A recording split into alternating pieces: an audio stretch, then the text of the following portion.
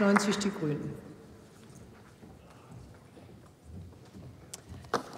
Frau Präsidentin, liebe Kolleginnen und Kollegen! Ähm, die in unserem Land ankommenden Asylsuchenden haben einen Anspruch auf ein faires und transparentes Verfahren.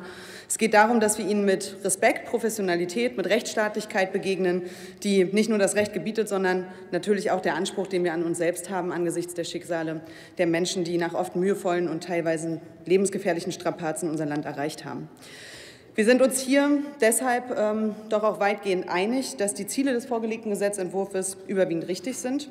Auch wir erwarten im Umgang mit der Situation der so zahlreichen Flüchtlinge und Asylbewerber eine funktionierende öffentliche Verwaltung. Wir brauchen eine effiziente Infrastruktur, der alle elektronischen Hilfsmittel zur Verfügung stehen, um in der ohnehin total komplexen Zuständigkeitssituation zwischen Kommunen, Ländern und Bund effektiv voranzukommen mit der Registrierung der Asylsuchenden. Der Bund ist hier in der Pflicht, eine IT-Infrastruktur auf die Beine zu stellen, die wesentliche Entlastung für alle Beteiligten der Verfahren bringt. Und damit meine ich neben den zahlreichen unterschiedlichen Behörden auch die Asylsuchenden selbst, für die das wirklich eine Belastung ist derzeit.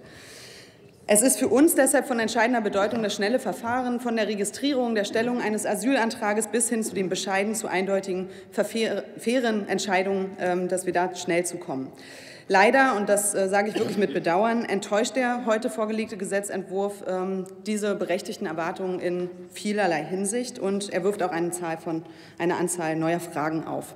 Zwar haben Sie per Änderungsantrag die Wirksamkeitsdauer des Ankunftsnachweises verlängert. Das ist gut, doch es bleibt ähm, bei der von den Sachverständigen am Montag im Ausschuss kritisierten Lage, dass weiterhin sowohl vor als auch nach der Ausgabe dieses Dokuments weitere Dokumente ausgegeben werden müssen und von den Behörden eben auch gepflegt werden müssen.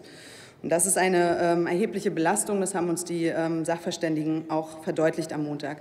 Die Grundkonstruktion ihres neuen, ihrer neuen IT-Infrastruktur ist wackelig, das kann man nicht anders bezeichnen.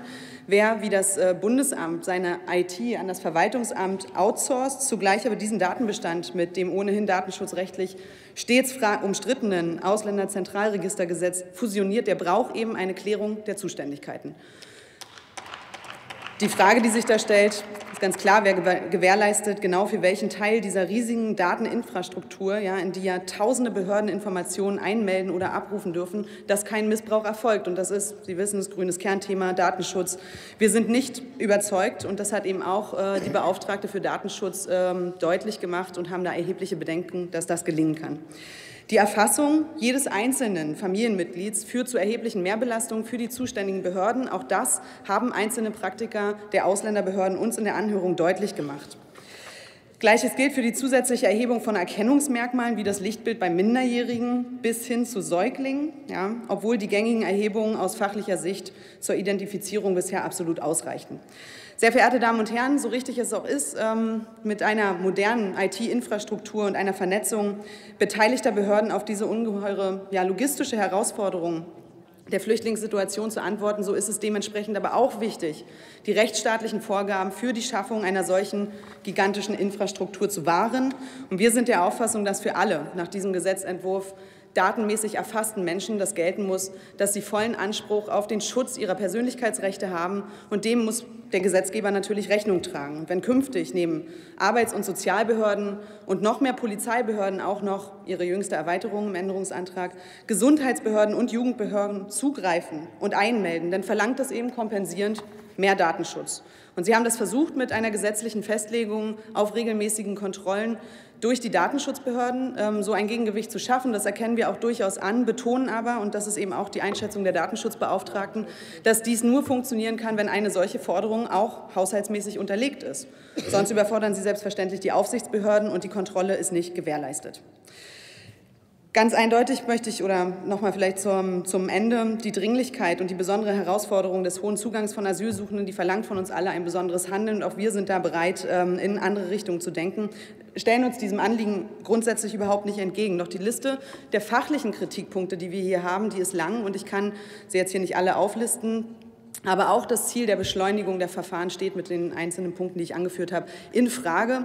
Daher werden wir uns bei dem Gesetzentwurf äh, mit in der Abstimmung enthalten, was ich wirklich, Herr Minister, außerordentlich bedauere, weil wir ähm, schon die Hoffnung hatten, dass wir hier endlich mal auch in der asylpolitischen Frage auf einen gemeinsamen Nenner kommen. Aber ich finde es wirklich bedauerlich, nach den Kritikpunkten, die am Montag im Ausschuss halt auch geäußert wurden von den Sachverständigen, dass die nicht ähm, äh, eingehen, obwohl es sich sozusagen von Menschen aus der Praxis handeln. Ist äh, schade, weil wir in Zukunft damit natürlich dann auch unsere Probleme haben werden. So. Und ich hätte mir gewünscht, dass wir hier doch vielleicht noch zu einer Zustimmung kommen können. Ähm, das lässt unsere Kritik an den einzelnen fachlichen Punkten aber leider nicht zu. Deshalb enthalten wir uns. Herzlichen Dank. Vielen Dank. Nächste Rednerin ist Nina Balken, CDU.